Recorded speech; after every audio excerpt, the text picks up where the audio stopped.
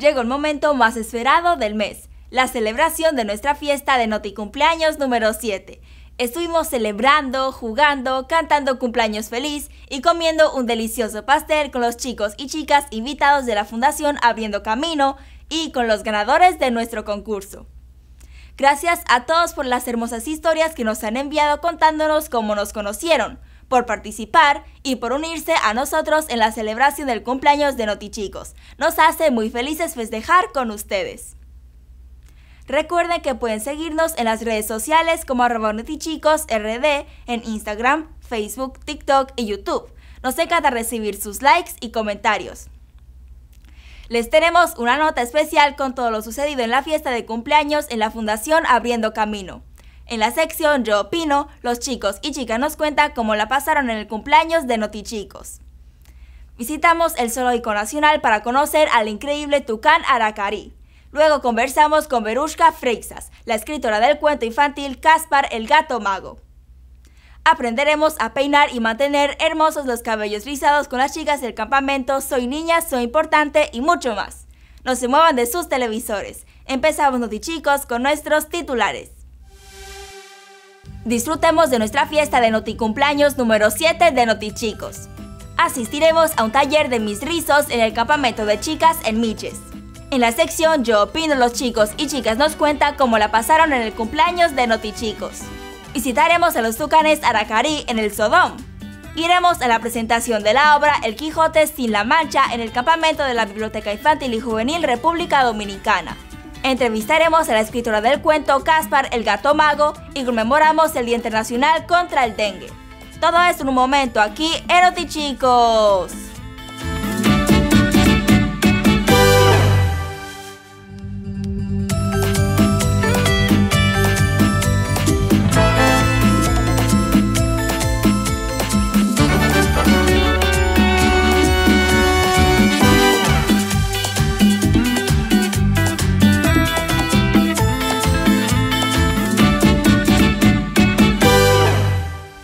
Agosto de 2017 emitimos el primer capítulo de Notichicos, el noticiero para chicos y chicas en República Dominicana.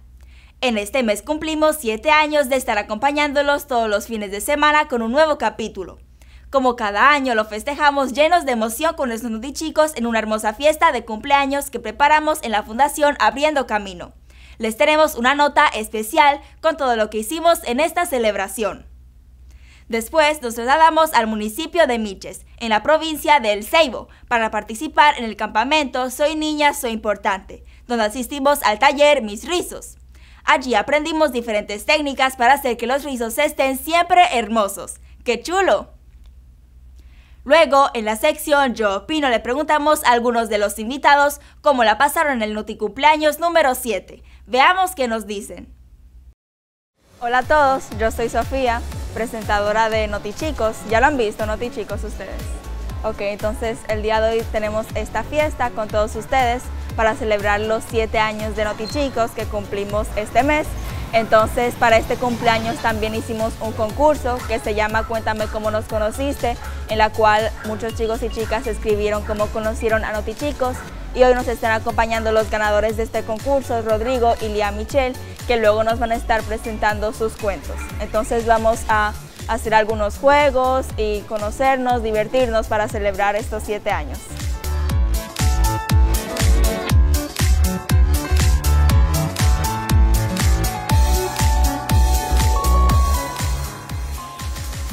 Llegó el gran día de celebrar nuestro cumpleaños número 7. Fue una fiesta súper divertida que organizamos en compañía de nuestros amigos de la Fundación Abriendo Camino, que queda en Villas Agrícolas en Santo Domingo en el Distrito Nacional. Allí estuvimos compartiendo con los chicos y chicas. Jugamos, nos hicimos fotos fabulosas, tomamos merienda, cantamos cumpleaños, grabamos las opiniones de varios de ellos y compartimos un delicioso pastel de cumpleaños.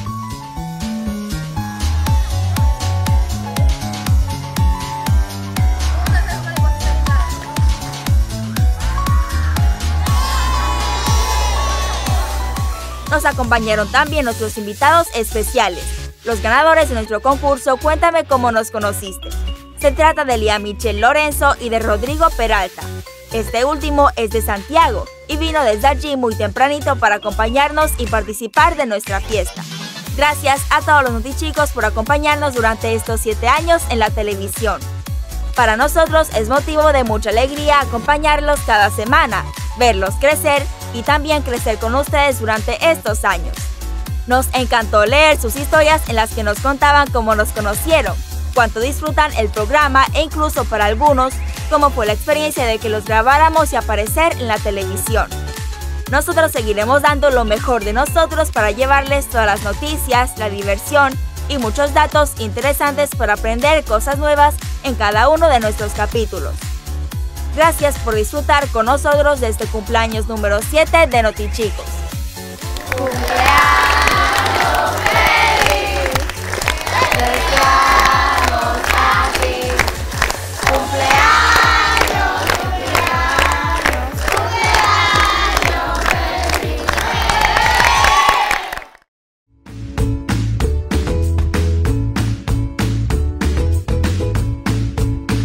Hola, hola, estoy en el campamento Soy Niña del municipio Miches y estoy participando en Taller de Mis Rizos.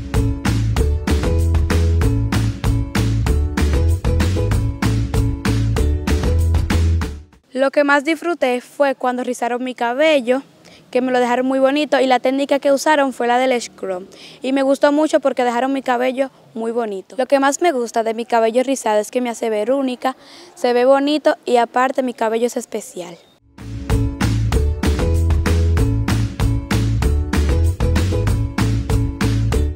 En el taller de mis rizos me enseñaron tres maneras para definir mi cabello. La primera es con los dedos, la segunda es con scrunchie y la tercera con un cepillo definidor.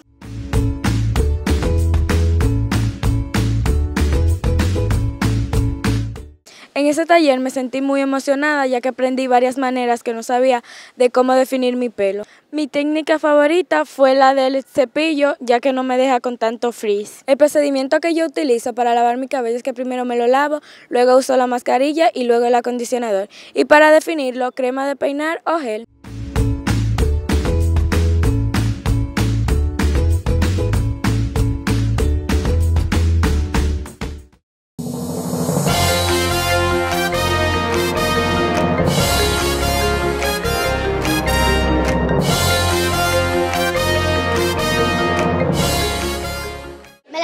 Bien en el, cumpleaños de Noti Chico. Jugamos el, un dos tres maripositas linda él y el pañuelito.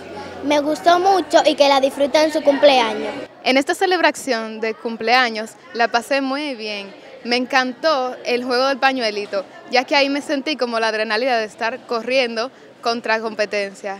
Lo que más me gustó de este cumpleaños fue cantar feliz cumpleaños junto a Noti Chicos y compartir. En este cumpleaños me sentí muy bien porque pude participar con uno de mis compañeros de brigada y mis amigos. Y el juego que más me gustó fue el del pañuelito, que ahí me divertí mucho. Me gustó participar en el cumpleaños de Noti Chicos y lo que más me gustó fue jugar los juegos con mis compañeros y amigos. Lo que yo disfruté del cumpleaños de Notis Chicos, que cumplió siete años, fue que yo conocí a, a Sofía en persona y también me divertí con amigos y conocí muchos amigos nuevos. Es momento de nuestro notiacertijo de hoy. Habla y no tiene boca. Oye y no tiene oído. Es chiquito y hace ruido, muchas veces se equivoca. ¿Qué es?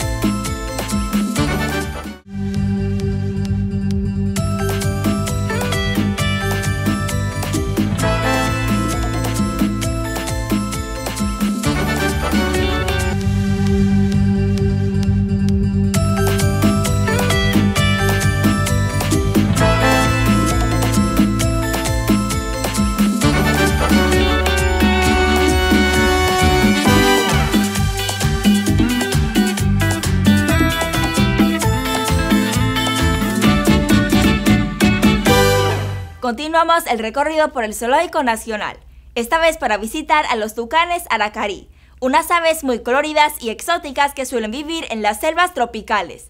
Tienen un pico enorme y brillante. Vamos a conocerlos.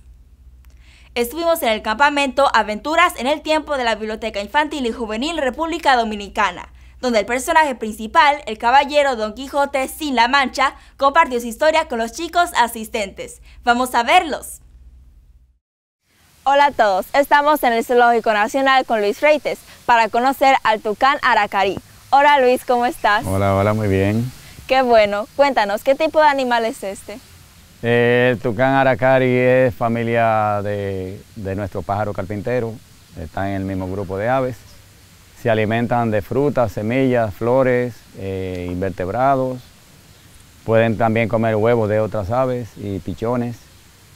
Y proceden de Sudamérica, viven desde el norte de, de Colombia hasta Argentina. ¿Y cómo viven entre ellos? Viven, son animales individuales, viven en, parejas, pero básicamente viven aparte, se juntan para, hacer, para procrear, para aparearse, y luego que ya crían los pichones se separan de nuevo. ¿Y son agresivos? No, no son agresivos. Hacen su nido en un tronco hueco, eh, con el pico. El pico le sirve como bubia, como un instrumento de, para romper la madera. Eh, ponen hasta tres huevos y son animales bastante activos. Pasan mucho tiempo buscando alimento porque viven en bosques húmedos, en, bosques donde se inunda, donde se llama la barcia. Viven en lugares con bastante humedad y son muy, muy, muy activos. ¿Y por qué son importantes para la naturaleza? Bueno, como comen frutas, pues entonces riegan las semillas, distribuyen las semillas y eso hace que los bosques se mantengan siempre poblados de, frutas, que son eh, alimentos que tanto los tucanes como los murciélagos, los monos, las iguanas y todo el mundo lo, busca para mantenerse alimentándose en el bosque. ¿Y están en peligro de extinción? No están en peligro de extinción, pero sí, sí, siempre los animales tienen la presión del cambio de hábitat o hay eh, también la cacería para mascotas, el mercado ilegal de mascotas, cogen los pichones y todo eso, el mercado de animales. ¿Y cuál es su depredador? Eh, tienen halcones que lo depredan, pero en, donde viven regularmente son las culebras los que más lo depredan. Las culebras suben los árboles, trepan los árboles y entran a los, nidos y ahí atrapan a los, a los padres y lo pueden sacrificar o también a los, a los pichones, eh, llegan al nido y, aunque son bastante agresivos cuando están sacados, cuando tienen pichones, pues quieren preservar a su, a su cría y se, manifiestan bastante agresivos con las culebras o con cualquier otro predador. ¿Y cómo se puede diferenciar un macho de una hembra? Eh, en realidad es, estos animales no tienen lo que se llama dimorfismo sexual, o sea que tienen diferencia entre macho y hembra. De manera que para diferenciarlo tendría que ser con prueba de ADN o con plumas o con sangre. Muchas gracias Luis por presentarnos a este hermoso animal. Hasta la próxima. Bye. Lo primero que hizo este señor era que él tenía que encontrar un nombre para él, porque Alonso Quijano no era el nombre de un caballero. Un día este señor decidió vender una parte de sus terrenos. Hola, yo soy Víctor y hoy estamos en el campamento de verano Aventuras en el Tiempo. Hoy estuvimos en una, en una presentación de Don Quijote sin la Mancha y tanto como yo y el público se estuvimos participando en esta actuación. El libro trata de un hombre que leyó muchos libros y se quiso convertir en un caballero para buscar a su amado Dulcinea. Los personajes de esta obra fueron Sancho Panza, Don Quijote, su amada Dulcinea y el, y el burro Rocinante. El personaje que yo interpreté fue Sancho Panza, el acompañante de Don Quijote durante toda la historia. La enseñanza de Don Quijote a Sancho Panza fue mejorar la escritura y la lectura para poder mejorar tu futuro. La parte que más me gustó de esta historia fue la parte que Sancho Panza no pudo gobernar la, isla porque no sabía ni leer ni escribir y de ahí viene la, la enseñanza de Don Quijote.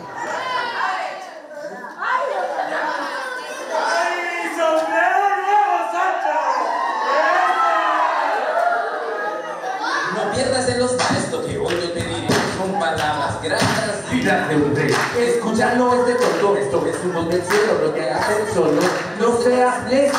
Primeramente, temerle a Dios. Y lo segundo, conocerte a ti. Don Quijote de la Mancha se llamaba así ya que él quería ser un caballero y vivía en la Mancha. Yo aprendí que para poder ser un verdadero gobernador tenemos que aprender a leer y escribir. Mi querida doncella Dulcinea del Toboso es visca, tuerta y que le faltan dientes y que además es gorda y eso no lo dije yo.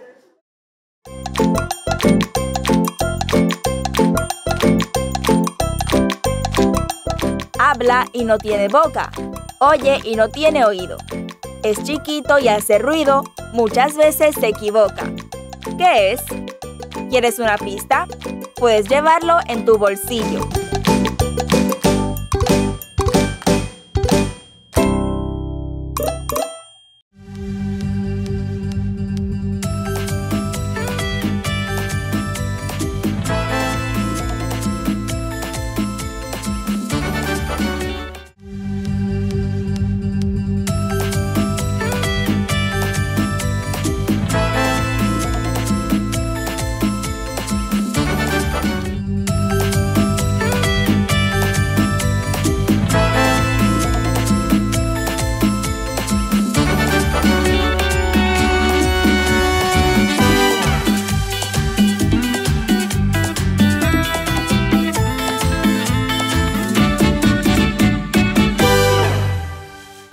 Entrevistamos a la escritora Verushka Freixas, quien nos hablará de su cuento infantil Caspar el gato mago y de cómo se convirtió en una escritora para chicos. ¡Qué interesante!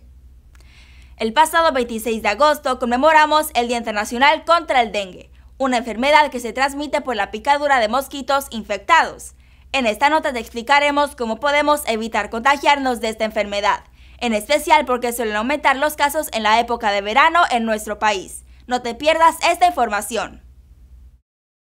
Hola a todos, el día de hoy nos encontramos con Verushka Freixas para conversar sobre su cuento Caspar el gato mago. Hola Verushka, ¿cómo estás? Hola Sofía, muchas gracias por invitarme a tu programa. Gracias a ti. Cuéntanos, ¿de qué trata la historia de tu cuento? Sí, Caspar eh, es un libro de cuentos para niños eh, a partir de los 11 años, 11, 12 años, eh, que narra la historia de un gato que otro gato le hace una propuesta de que no siga haciendo esos trucos así tan sencillos de desaparecer un ratoncito o de famoso juego de cartas o de aparecer un conejo del sombrero, sino que haga, haga algo como más espectacular, que es si puede hacer desaparecer un elefante. Y cuéntanos qué le pasa a Caspar en la historia.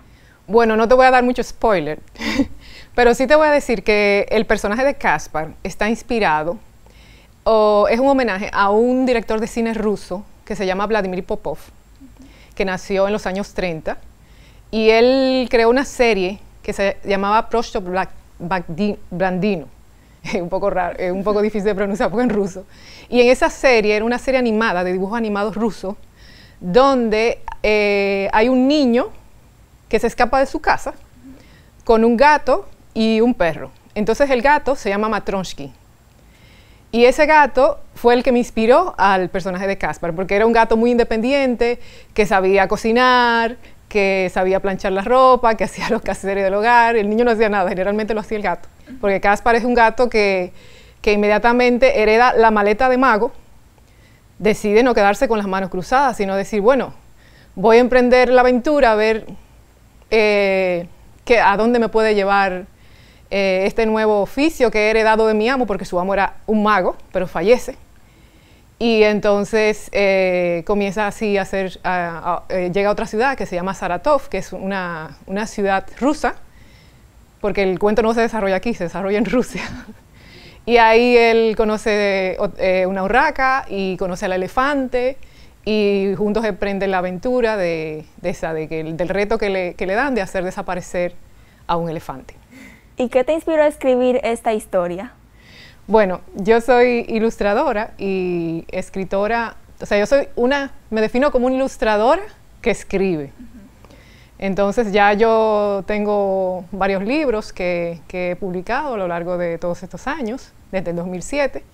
Entonces nada, surgió la idea de este hace como cinco años y la primera imagen que me vino a la mente para poder, o sea, tenía la idea como, esa idea en la cabeza era ese, ese gato mago con aquel elefante que tenía el reto de hacerla desaparecer. Entonces a partir de ahí se fue desarrollando la idea del cuento.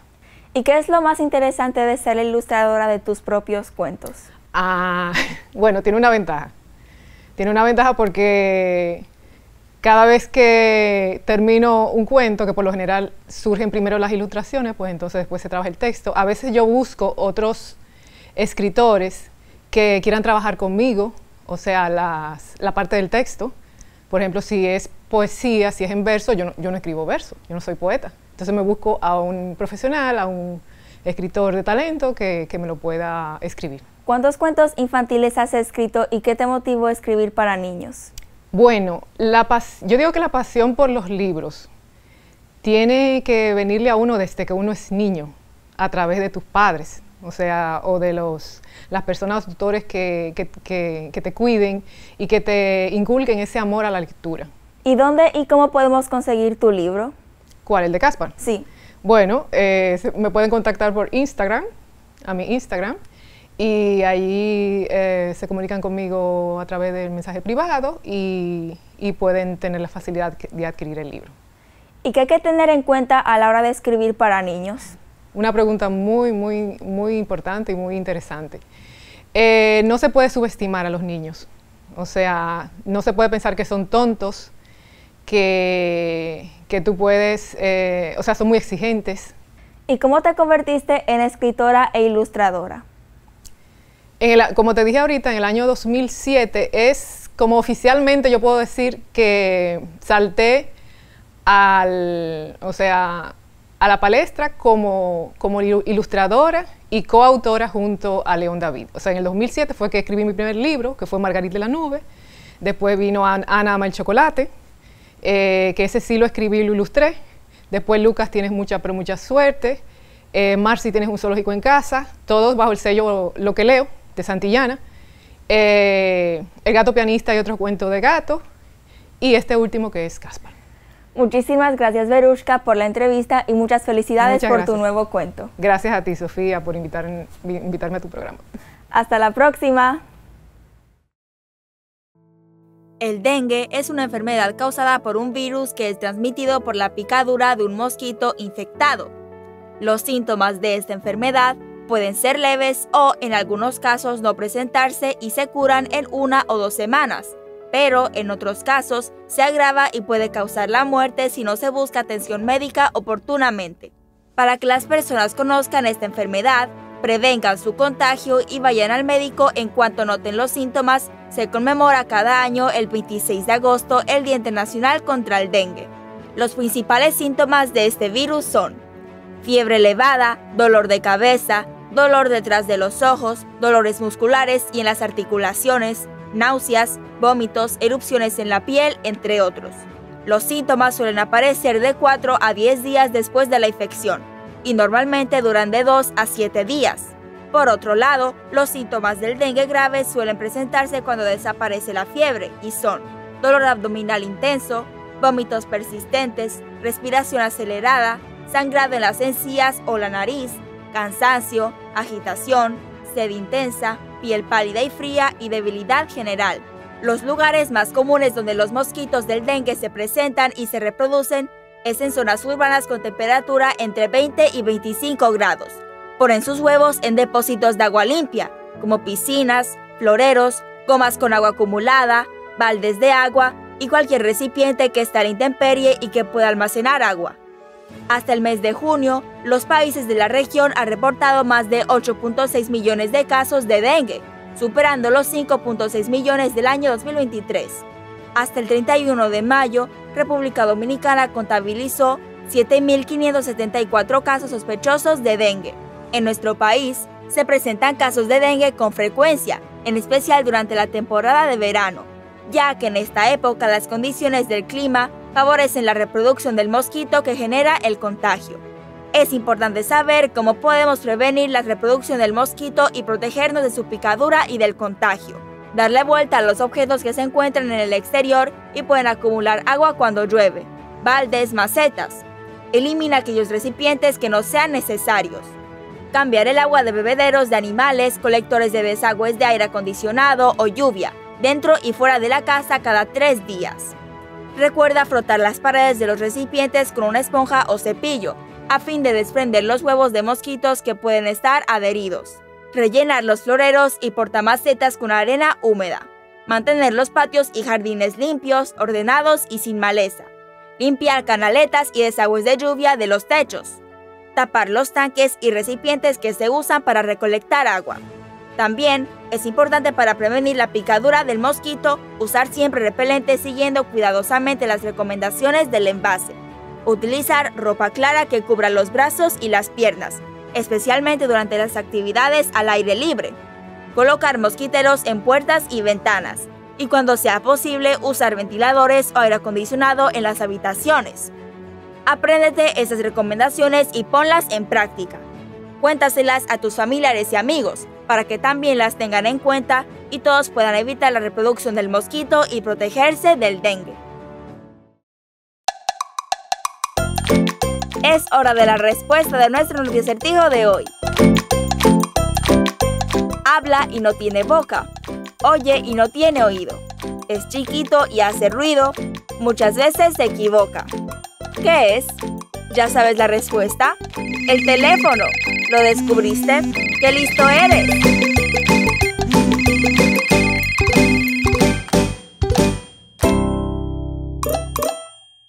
Hemos llegado al final del programa de hoy y de nuestra celebración del séptimo cumpleaños de Notichicos. Gracias por ser parte de esta fiesta, por acompañarnos cada semana, por seguirnos y por disfrutar de Notichicos a lo largo de estos años. Ha sido muy emocionante leer todas las hermosas historias que nos enviaron. Gracias por participar en nuestro concurso y por enviarnos tanto cariño. Nuestro deseo en este cumpleaños es continuar junto a ustedes por muchos años más, trayéndoles diversión, aprendizaje y muchas actividades interesantes. Acompáñenos todos los sábados a las 10 de la mañana por Telesistema Canal 11 y también en nuestras redes sociales. Nos encuentran como arroba notichicosrd en Instagram, Facebook, YouTube y TikTok. Ha sido un cumpleaños maravilloso en compañía de todos ustedes. Ahora iniciamos nuestro recorrido por otro año más de Notichicos. Nos juntamos de nuevo la próxima semana. Los queremos mucho, un beso a todos. Bye bye.